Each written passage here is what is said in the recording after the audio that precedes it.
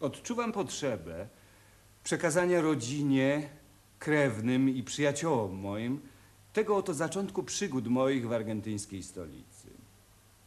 21 sierpnia 1939 roku ja na statku chrobry do Buenos Aires przybijam.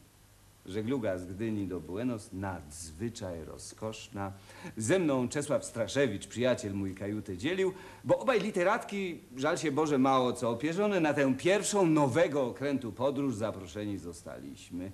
Jakośmy do lądu dobili, ja z panem Czesławem w miasto zapuściliśmy się, a całkiem na oślep, jak w rogu, bo żaden z nas tu nigdy nogą nie stąpił. Miasto jak miasto, jeden dom wysoki, drugi niski stoi, ale coś niedobrze.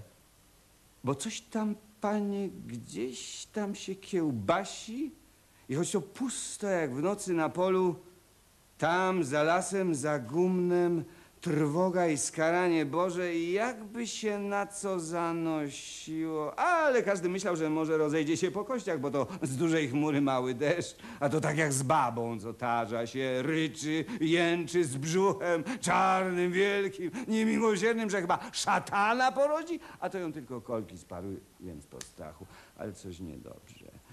Po ulicach obijał nam się natrętny gazet krzyk Polonia, Polonia! Aż tu Czesław do kajuty naszej, bo wciąż na statku mieszkaliśmy, z gazetą wpada. Wojna! Dziś, jutro wybuchnąć musi, nie ma rady. Owóż kapitan rozkaz wydał, aby statek nasz jutro odpłynął. Bo choć do Polski się nie przedostaniemy, to gdzieś do brzegów Anglii, Szkocji dobijemy.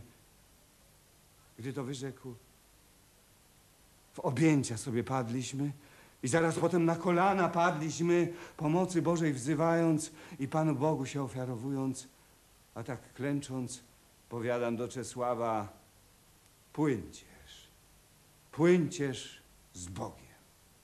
Czesław na to, jakże to, przecież z nami płyniesz. Ja bym do Polski z wami popłynął, ale po co mnie do Anglii lub do Szkocji? Tu zostanę. A on patrzy się na mnie i patrzy. Y, Nie chcesz z nami? Tu wolisz zostać? Ale ty do poselstwa naszego pójdź i tam się zamelduj, żeby ciebie za dezertera albo co innego nie ogłoszono. Odpowiedziałem, pewnie, że pójdę, że wiem, co jako obywatel powinienem. Dopiero w ten czas z klęczek powstałem, bo już najgorsze przeszło. Ja człowiekowi temu, rodakowi, całej prawdy powiedzieć nie chciałem.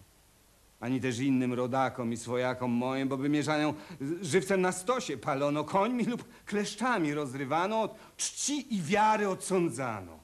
I gdy już liny odwiązują, gdy statek ludźmi rozkołysany od ludzi, rodaków czarny, już, już odpływać ma, odbijać. Ja z człowiekiem, który ze mną dwie walizki moje niósł, na ląd wstępuję i oddalać się zaczynam. Owóż tak się oddalam, a wcale się za siebie nie oglądam. Oddalam się, nic nie wiem, co tam za mną. Dopiero gdym dobrze się oddalił, przystanąłem i za siebie spojrzałem. Tam okręt od brzegu odbił, na wodzie stoi, a ciężki, pękaty. W ten czas na kolana paść chciałem. Jednakowoż wcale nie padłem, a tylko z cicha bluźnić, wyklinać. Ale do siebie samego zacząłem. A płyńcież wy, rodacy, do narodu swego. Płyńcież wy do narodu waszego świętego, chyba przeklętego. Płyńcież wy do stwora waszego świętego, ciemnego, co wciąż zdycha, zdechnąć nie może. Płyńcież wy do cudaka, waszego świętego, od natury całej przeklętego, co wciąż się rodzi, a przecież wciąż nieurodzony. Płyńcież, płyńcież, żeby on wam ani żyć, ani umrzeć nie pozwalał, a zawsze was między bytem, a nie bytem trzymał. Płyńcież wy do szaleńca, wariata waszego świętego, żeby on was skokami, szałami swoimi dręczył, męczył, was z krwią zalewał, was rykiem swoim ryczał, wyrykiwał dzieci wasze, żony wasze, na śmierć, na skonanie, sam konając, w konaniu swoim, szału swojego was szalał, rozszalał. Miałem wszystkiego 96 dolarów. Umyśliłem naprzód do pana Ciecieszowskiego się udać, którego jeszcze z dawnych lat znałem.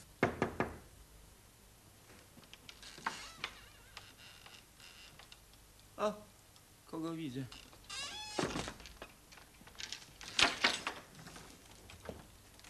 Proszę, proszę. Proszę bardzo, proszę uprzejmie.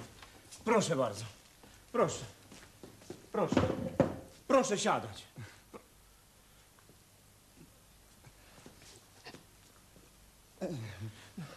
Proszę. A w czym bym pożyteczny mógł być?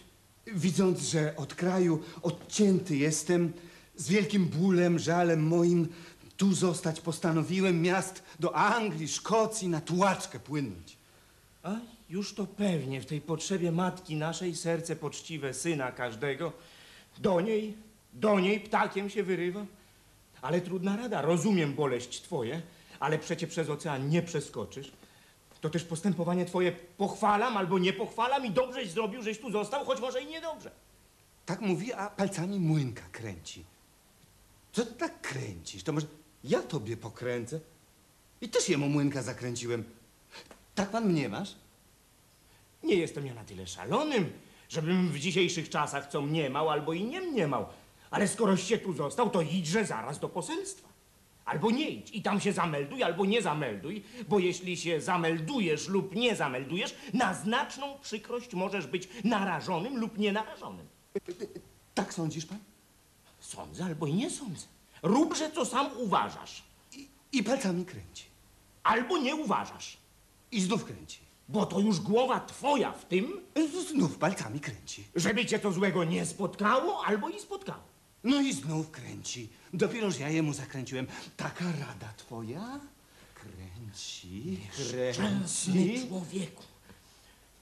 A toż ty lepiej zgiń, przepadnij i cicho. A do nich nie chodź, bo jak się do ciebie przyczepią, to się nie odczepią. Słuchaj rady mojej. Ty lepiej z obcymi, z cudzoziemcami się trzymaj. W cudzoziemcach zgiń, rozpłyń się, a niech cię Bóg broni od poselstwa, a tyż od rodaków. Bo źli, niedobrzy, skaranie boskie tylko ciebie gryźć będą, a tak cię zagryzą. Tak uważasz? A niechże ciebie ręka boska broni, żebyś ty poselstwa albo rodaków tutaj będących unikał. Bo jak ich unikać będziesz, to gryźć ciebie będą, a tak cię zagryzą. No tak mówi i palcami młynka kręci, ja też kręcę, a od tego kręcenia już mi się w głowie zakręciło. Nie wiem, czy bym jakiego zajęcia nie dostał, żeby to przynajmniej pierwsze miesiące przetrzymać. No, gdzie by tu to znaleźć? Nie bój się, nie bój się. Zaraz co uradzimy. Już ja ciebie z rodakami poznam. To oni ci dopomogą, dopomogą lub nie dopomogą. Tu zasobnych naszych kupców, bankierów, przemysłowców, finansistów nie brak. Już ja ciebie jako wkręcę, wkręcę lub nie wkręcę. Palcami kręci. Tu trzech wspólników jest, którzy spółkę mają i interes koński też i psi dywidendowy założyli. A oni by tobie pomogli albo nie pomogli i może na urzędnika albo pomocnika z pensją 100 albo 150 pesów zgodzili, bo najzacniejszymi, najpoczciwszymi lub nie najpoczciwszymi są ludźmi. Spółka zaś komandytowa, subhastowa lub nie subhastowa. Sęk w tym, żeby każdego z nich na osobności zdybać i na osobności prywatnie się rozmówić, bo tam z dawnych czasów dużo jadu z i tak jeden drugiemu obmirzły, że jeden przy drugim obmirzły i tylko by mierził. Nazajutrz, gdym w moim pokoiku obudził się, doszedł mnie przez ścianę staruszka płacz, jęki, biadolenia, a ze słów jego to tylko zrozumiałem Guerra, guerra, guerra! Jakoż gazety krzykliwym głosem wybuch wojny obwieszczały. Dzień był jasny, pogodny. Ja w tłumie zgubiony, moim zgubieniem się cieszyłem i nawet na głos powiadam nic piskorzowi, gdy tam raka biją, a tam biją. Przed redakcjami gazet wielkie ludzi mrowie. Powiadam, a wciąż do siebie zdrów czyży, choć tam barana sztorcują. A tam i sztorcują. Nad rzekę poszedłem, gdzie pusto, cicho, wietrzyk wieje. Powiadam, a wciąż do siebie. Otóż to makolągwa czyrka, a borsuk w potrzasku. Mało co ze skóry nie wyskoczy, a tam ze skóry mało co nie wyskakują i za lasem, za gumnem, za stawem niemiłosierny ryk biją, mordują o zmiłowanie, proszą, pardonu nie dają, a diabli wiedzą co, a pewnie i diabli.